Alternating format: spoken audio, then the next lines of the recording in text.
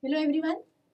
In this session, what we are going to do is exceptional thing for which you need a lot of concentration. And name is parametric form of equation of a line. Now, before we start, you all must revise first what we mean by a parameter. What do we mean by a parameter? Parameter is a variable that remains constant for a given case. You revise. Parameter is a variable which remains constant for a given case. It is not perimeter. I hope you understand that. Not perimeter, parameter, right? So we have to write in some parameters form the equation of a line. Now, what I do is I take two points. One is P and other is Q. Q is a moving point whose coordinates are x and y. And x1, y1 is a fixed position which I may name as P. And inclination is theta. And the distance PQ I'm writing as R. So there are things involved xy, x1, y1, R and theta. And picture would look something like this.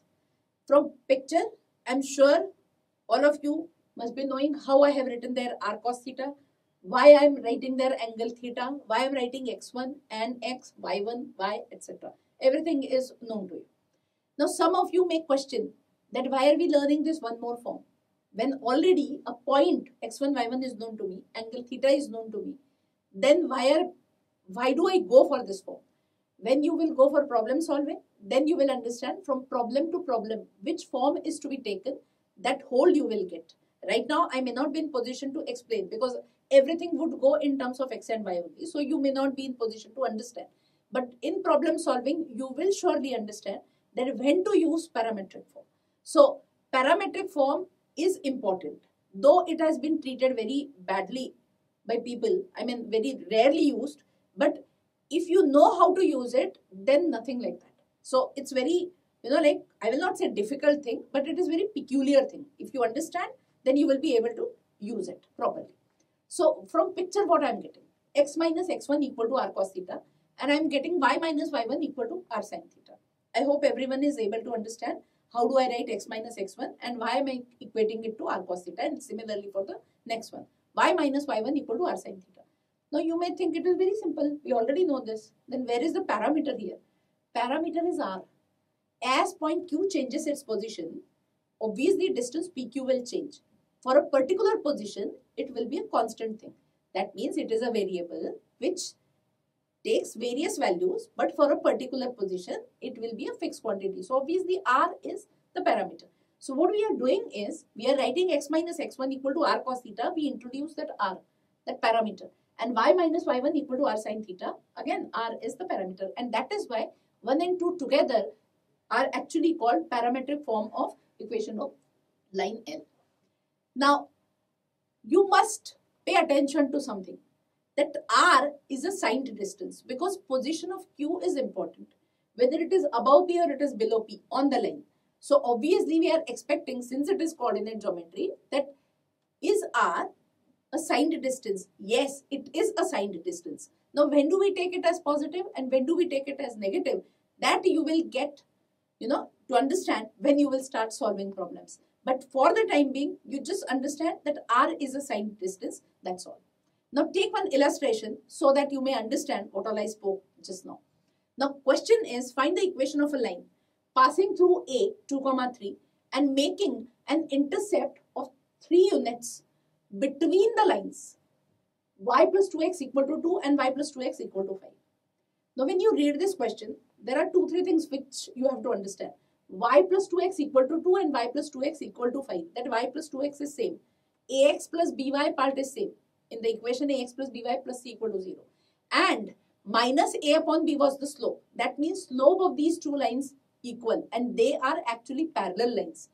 If you can notice this much, then you will be in position to draw the picture. y plus 2x equal to 2 I am showing, y plus 2x equal to 5, point 2 comma 3 I have shown as point A and a line I have drawn making angle theta with positive x-axis. Now understand one thing. If I know theta, then everything is done. So my entire calculation further would be on theta. Once I know theta, point is known to me, I may be in position to understand how to write equation of the line. Okay. Now, where does that r come from? Now, R instead of R now, here we will be writing two things, R1 and R2. AP I am taking as R1 and AQ I am taking as R2. Understand one thing, A is 2 comma 3. We do not know anything about P and Q, what those P and Q are. Okay, so I am naming AP as R1 and AQ as R2. From the given statement that line has intercept between two parallel lines as 3 units, I write absolute value of R1 minus R2 equal to 3. Frankly speaking, right now I do not know which one is bigger, R1 is bigger or R2 is bigger. So I am writing absolute value. Absolute value of R1 minus R2 is 3. Okay. Now, if theta is the inclination, what all other things I can write? I can write coordinates of point P as 2 plus R1 cos theta, comma 3 plus R1 sin theta. How do I write that? X equal to x1 plus R cos theta. Because we had written x minus x1 equal to R cos theta, right? So x equal to x1 plus R cos theta. Use that and write x coordinate as 2 plus R1 cos theta, y coordinate as 3 plus R1 sin theta for t. Similarly, you can write q also. q would be written as 2 plus R2 cos theta and 3 plus R2 sin theta. Now, where do P and Q lie? That also has to be seen. They lie on y plus 2x equal to 2 and y plus 2x equal to 5. And some more thing you can see and that is that R1 and R2 are actually, they will have same sign. Why do I say so? Because they are on the same side of pointing. Okay. I'm just saying right now they have same sign. Whether negative or positive, we have not yet included. Okay. Fine. Now, we will have to use point P on y plus 2x equal to 5, point Q on line y plus 2x equal to 2 and actually on substitution from there after simplification you will get R1 equal to minus 2 upon sine theta plus 2 cos theta and R2 equal to minus 5 upon sine theta plus 2 cos theta. Now we will have to decide once for all about R1 and R2 and their signs. Now we will have to take two different cases as shown in picture, my theta is acute angle or theta could be pi by 2 maximum, right? Okay. Now, P and Q, they have their x coordinates, means abscissa, less than 2. You can see there, P I have written as 2 plus R1 cos theta. And I am saying P's x coordinate is less than 2. So, don't you understand that R1 cos theta will have to be negative? Something will have to be subtracted from 2 to get a quantity which is less than 2. So R1 cos theta has to be actually negative. What about cos theta? Since theta is acute, cos theta is positive. So R1 is going to be negative and similar is with R2 also. R1 and R2 they have same sign. So R1 and R2 both are negative and actually you can write one more statement from there seeing the picture that R1 is greater than R2 and hence my situation is now little simplified. I have absolute value of R1 minus R2 equal to 3 which would be rewritten now as R1 minus R2 equal to 3. Now no more need of writing absolute value because R1 is greater than R2. Now substitute expressions of R1 and R2 and simplify it. You will get sine theta plus 2 cos theta equal to 1. Now this is simple case of solving a trigonometric equation. Now choice is entirely yours how you solve this equation. We have already done how to solve trigonometric equation. Now choice is entirely yours. What I do is I try to write equation in one trigonometric ratio only and for that I square. I get a term of cos square theta suppose. I may write that as 1 minus sine square theta and get equation only in sine theta throughout and solve it by normal factorization. You will get one factor as five sine theta plus 3 and other factor as sine theta minus 1.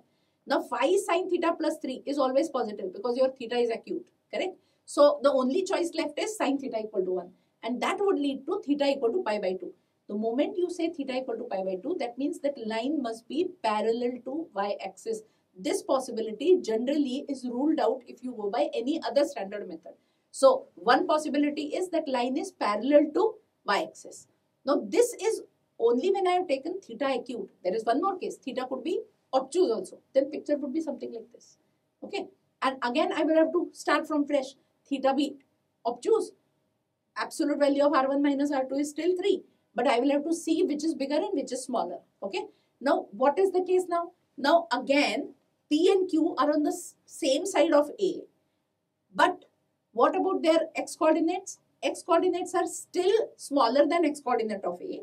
But now cos theta is going to be already negative. So R1 will have to be positive. And hence I understand that R2 would be greater than R1 now and absolute value of R1 minus R2 equal to 3 would be replaced by R2 minus R1 equal to 3. Now again substitute expressions for R1 and R2 and simplify. Finally you will get equation as sine theta plus 2 cos theta equal to minus 1.